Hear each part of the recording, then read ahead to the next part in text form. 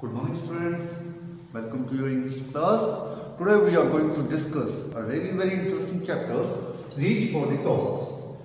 This is actually a motivational chapter. In this chapter, we are going to discuss two persons or two personalities. One is Santosh Jadhav and second one is Maria Sharapova. Both are ladies and they really perform a great job in their life.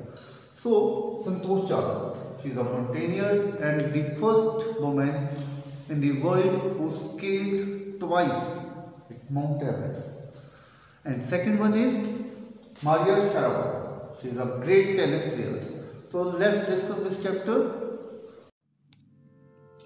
Chapter 8 Reach for the Top. This chapter is divided in two parts. Part 1 talks about Santosh Yadav, the Indian mountaineer, and the part 2 talks about Maria Sharapova, the great tennis player. Reach for the Top is based on the theme that success comes to those who dare and do. Santosh Yadav was born in a traditional family. She had five brothers.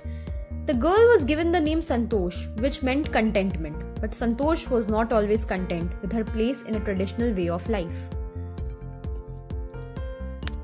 Santosh has really reached the highest top that a women mountaineer could reach that any mountaineer could reach, not just once but twice. She is a wonderful role model.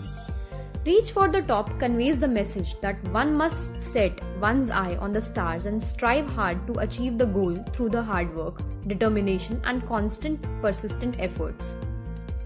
Instead of complaining against the ills in society, one can dare to change the systems and shape one's own destiny. And once one has achieved great heights, one must shoulder the responsibility to achieve success and glory in their own areas of interest, just like Santosh Yadav has done. Showing exceptional concern for the environment, she collected in and brought down about 500 kg of garbage from the Himalayas. She was also awarded the Padma Shri by the Government of India. Part 2 Maria Sharapova The account is a biographical one it talks about the tennis player and the achievements she has earned as the title of being number one in the world of tennis in 2005. One has to pay a price for reaching the top in the form of hard labor, rigorous training, and sacrifice.